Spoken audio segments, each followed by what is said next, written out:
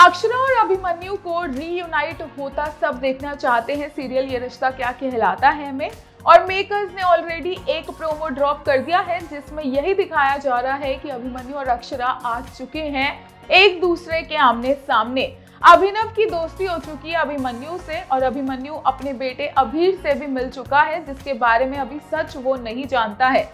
लेकिन सबसे much awaited face of तो अभिमन्यु और अक्षरा का ही है। क्योंकि जब इतने सालों के बाद ये दोनों एक दूसरे के आमने सामने आएँगे तो कई इमोशंस भी यहाँ पर देखने को मिलेंगे। साथ ही पाँच सालों में दोनों बहुत ज़्यादा बदल चुके हैं। वो रिएक्शन भी इंटरेस्टिंग रहेगा। इसी के चलते ट्विटर पर सभी अपनी एक्साइटमेंट दिखाते नज़र आए और फैंस ने ये भी गेस कर लिया है कि इन तीनों को, यानी कि अभिमन्यु अभीर और अक्षरा को तो अभिनव ही मिलवाएगा। क्योंकि अभिनव को देखा गया कान्हा जी से प्रे करते हुए कि कान्हा जी, अब तो आप भी इन तीनों को मिलने से रोक नहीं सकते हैं। तो अभिनव का कैरेक्टर वैसे भी काफ़ी अच्छा दिखाया गया है। फेस ऑफ़ की बात करें तो ऑलरेडी अभी और अक्षु के रिएक्शंस देखे जा सकते हैं। और इसके साथ साथ ट्विटर पर फैंस के रिएक्शंस भी देखने को मिल रहे हैं।